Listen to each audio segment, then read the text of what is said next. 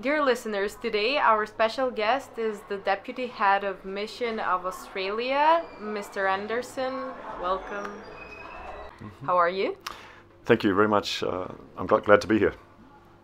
Uh, so, uh, a first question. Um, our first question is: Which are your favorite pos- podcasts, and uh, what topics do you like to listen? Well, I personally I like history uh, very much, so um, I don't have a lot of time um, to listen to, to podcasts generally, but uh, anything like history related, uh, I'm really interested. You know, I've been in uh, the, in the Balkans in Belgrade now for two years, and uh, very interested in uh, history and architecture. Uh, so, uh, how many countries have you lived in uh, as your deputy, as a deputy head of mission? Uh, so, uh, as I mentioned, I've been about two years uh, now in Belgrade. Uh, before that, I was four years in China, in Beijing, in a different position. And before that, I've been in several other countries like um, Nepal, Ethiopia, Sri Lanka, Hong Kong, and probably a few more I can't remember. How challenging is your job? Is it really challenging? Uh, so at our embassy, uh, it's quite small. We only have three three people: the ambassador, I'm the deputy, and we have one young diplomat. Uh, we our main tasks are political reporting and economic reporting, uh, business, uh, consular work, uh, passports. Um, I have many many caps that I wear from um, deputy head of mission with some political economic work, but also I'm the consul, so I involved in consular work, passports, notarials, uh, then also security and HR and other operations. So um, I cover quite a lot of areas. Uh, I must say the most challenging definitely is uh, consular work. Uh, there are many consular cases throughout the year. Uh, some uh, some are quite uh, easy to handle, but there are some which are very uh, sensitive and can be quite tricky. Uh, so they definitely more challenging. So, uh, what is the most interesting thing that you have experienced during your job, or maybe an event or whatever? Ah, that's a that's a difficult question. uh, I think personally, for me, the not just the the chance to live overseas in another country, but also to to meet the people, experience the culture, which means also the food, uh, the religion, uh, the architecture, the natural scenery. Uh, because we are accredited to three countries, uh, I get to travel through the region quite a lot um, and look at look at the diverse differences between between the countries. So uh, personally, just being being able to experience su- such a diverse number of cultures uh, in all respects is my uh, is, is what really makes me um, enthused every morning. Yeah. Um, I heard that in Australia the percentage of smokers and smoking is really low. So, how important is to promote that not only in Australia but all over the world? Oh, it's uh, super important. Um, we're very happy to be supporting uh, ECTA, a local NGO here in Bitola, to support educating youth about uh, anti uh, about tobacco and the effects of tobacco. Uh, Australia also had very high smoking rates back after the Second World War. And then during the 60s and 70s, government came up with many different policies to uh, to tackle uh, smoking, um, from TV uh, TV ads to um taking away advertising, um, increasing prices on tobacco, many many different policies, and that's developed ever since that that time. Uh, so today in 2023, the uh, smoking population is quite quite small compared to a lot of countries due to those uh, those policies. Now, one of the biggest challenges is uh, electronic cigarettes or vaping, which is becoming the next part of the tackle uh, a tackle of uh, anti-tobacco.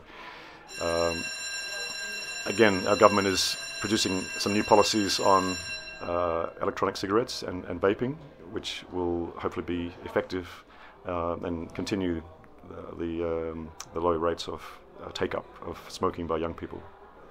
So, um, does Australia uh, has Australia seen um, a impact of that decreasing of smokers and smoking in the health of uh, the overall health system of the people? Yes, uh, yeah, yeah, definitely. The obviously the health effects of smoking create a huge amount of costs for government. Uh, due, due to the, the increased um, amount of people not smoking, then that does lift the burden on the, the health budget. So there's more funds available to put into research for other diseases uh, such as cancers, uh, uh, new new medicine. Um, so definitely there is a, a benefit to um, to people's health uh, and also the funding that the government can um, uh, put new funding into new initiatives. Um, uh, so yes, definitely, yeah, there is a, a definite um, decrease. So uh, according to you, mm-hmm. uh, what is the most effective way to promote that mm-hmm. to the mm-hmm. people? Is there anything that could mm-hmm. change the mind of the people, the mm-hmm. mindset, you know, about mm-hmm. smoking? Yeah, well, I, I, think the, the key is uh, what I'm what I've been doing today here at the the high school is um, a workshop. So I think these uh, these workshops um, per class of 30, 30 students or so, um, bringing educators uh, from the NGO sector, also from uh, medical sector, just to talk to students uh, at both primary school and, and secondary school about uh, explaining what tobacco is, what not just what effects it has on, on, on the body, but also how it affects socially the population uh, and and ultimately the country um, with, its effects. So definitely the workshops are, I think, the prime way to educate young people hopefully to not start smoking. Um, for older people who have been smoking, it is difficult to give up, so there needs to be um, an increased focus on support services for people to give up smoking. Um, Australia also has developed a lot of resources for uh, for those smokers who, through their addiction, uh, who would like to smoke, like to give up, but just can't find the way to give up. Uh, there are resources um, available, and that they have been successful as well. So I think workshops for young people to stop people starting smoking, and then um, services for people who want to give up, who are addicted but are having trouble, and supporting those services as well. Um, a lot of parents uh, should tell their children that they shouldn't smoke. So, is that happening in Australia? Are mm-hmm. the parents uh, mm-hmm. reliable about this topic? Mm-hmm. I, are they yeah. telling their new mm-hmm. generations, to the new generation, mm-hmm. that they shouldn't smoke if mm-hmm. they were smokers before? Yeah, yeah. I think definitely if kids come home smoking, or if they've been um, hiding from, hiding the fact from their parents that they're smoking, and the, the parents find out, then they will definitely be angry and tell the kids to stop smoking. But I think just because of the policies that, that we've had in Australia for a long time, uh, a lot of youth now find it socially acceptable not to smoke which is also very important. So there's not there's no peer the, the, peer pressure still is there for the vaping and the e-cigarettes, but much less than before. So now for for kids it's it's um, socially okay not to smoke, even when you have someone in your group who maybe smokes. That person also will not kind of push people other their friends to smoke either. It's kind of um, it's become a, a normality where if you don't smoke, that's that's the cool thing to to be not doing. So in that sense, um, I think society also is, is, geared now where young people kind of they know the the bad benefits and that you don't they don't have the peer pressure as much. Um, but again, yeah, parents will also put pressure on, on kids if they are smoking and particularly vaping. Um, so now it's up to, um, I guess, our next stage of our anti-tobacco policies on electronic cigarettes and vaping to to uh, to focus on that to see how to see how the government can um, reduce that. Obviously, the the other big issue is the companies. The, the tobacco companies are very powerful. They have a lot of resources. They um, they know that they have a lot of pressure on them from from traditional smoking, and that's why they are heavily marketing these new new products. So there has to be some uh, some policy to address that. And the easiest one is excise, tobacco excise, so making it more expensive for, for people. Uh, now in Australia, I think one one single cigarette is about two euro, so it's it's very expensive, uh, and it's every year it's indexed as well. It's getting more expensive, um, but we we need to think about other tactics and strategies to to uh, to come to tackle the big business as well.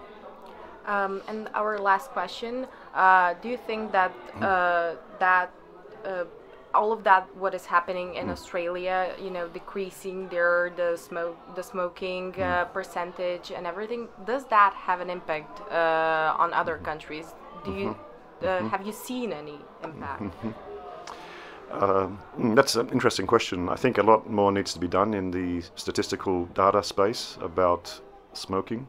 Um, I think there are a lot of policies um, outside Australia or, other countries who have some some uh, anti-smoking policies, but not a lot of concrete data and stats that feed into creating those policies. So I think need, more work needs to be done from those economic institutes, um, medical institutes, the, the information gathering sources to, to build up um, some credible data, which will be the evidence to, to support the, some new, new policies. So I think that's one area that needs to be um, enhanced.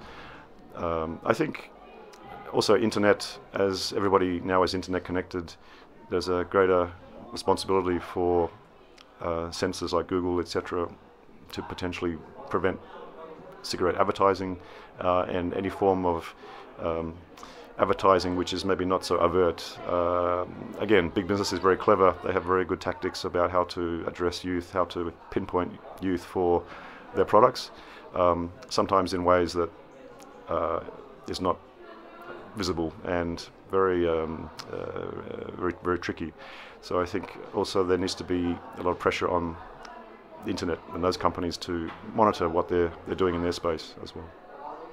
Do you have any message that you would like to send to the younger, to the youth, uh, to my generation, for and uh, also for maybe those who are smokers? Yeah, I think the, the main message is is not, not so much just don't don't smoke. It's not good for you. I think kids these days and young people these days they, they know that tobacco is basically no good for you and you you'll get sick. There's been enough information in media about that. So I think the the issue for youth is more overcoming any peer pressure. It's it's it's being cool not to smoke. I think is the message. It's when someone offers you a cigarette or a vape, you know, have the courage to say no. You know, I don't want to my I don't want my clothes to smell. You know, I want to be healthy. You know, I'm doing sports. I want to be successful. Just having that um, that confidence, uh, and then actually go back to the person and say, well, actually, you should stop too. You know, it's not good for for your health and your family and uh, all, all the bad benefits. So I think it's just being strong. Just be strong. Just be confident. When someone asks you to try something, just just say no. And I think you do that a few times, and then, then it becomes normal. And then as your friends become the same, then your your groups also it becomes normal not to smoke, and the chances of starting smoking drop. So that's the message. Thank mm. you so much, mm. Mr. Deputy Head of Mission. Mm. It was an honor to have you today in our radio. Thank you very much for inviting me. I'm really happy to have been here. Thank, you so much. Ladies and gentlemen, that was the Deputy Chief of Mission of Australia. Thank you so much.